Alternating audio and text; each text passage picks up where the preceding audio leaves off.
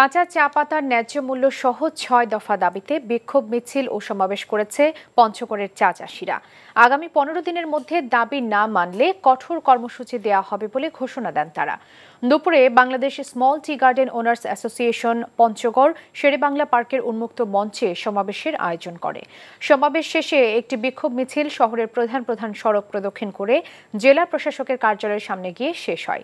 পরে বিদেশ থেকে চা আমদানি নিরুৎসাহিত করা, সীমান্ত দিয়ে অবৈধভাবে চা প্রবেশ বন্ধ, কাঁচা চা পাতার ন্যায্য মূল্য নিশ্চিত করা সহ ছয় দফা সম্বলিত একটি স্মারকলিপি জেলা প্রশাসকের মাধ্যমে প্রধানমন্ত্রী বরাবরে দেয়া হয়।